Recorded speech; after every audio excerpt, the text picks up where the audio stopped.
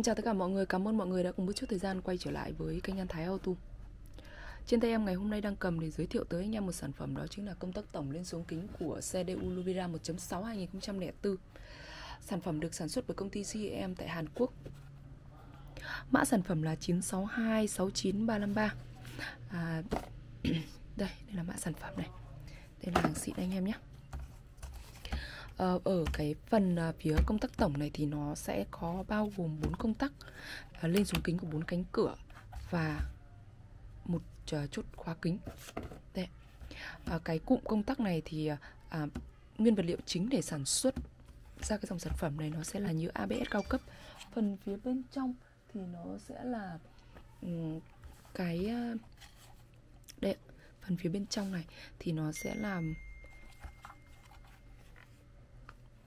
các cái bảng vi mạch điện tử để điều khiển sự lên xuống của kính. À, đây là cái ờ, các cái điểm chốt để chúng ta bắt vào cái cửa kính nhé. Đây đây là phần sắc điện của nó nhé anh em nhé. Đó. À, cảm ơn anh em đã quan tâm à, đến và xem video của em.